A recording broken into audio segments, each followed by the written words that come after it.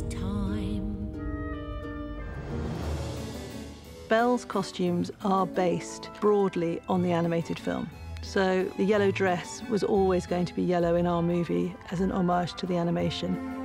That was an interesting challenge because that dance is so iconic. So Jacqueline and I were really scratching our heads, you know, what should this be? The yellow dress was one of the most difficult things to achieve, even though watching the movie you might think it's quite an obvious choice. We went through a long design process where we tried different looks and we experimented with different ways of interpreting the yellow dress. But in the end, we decided that the most important thing was it had to dance beautifully.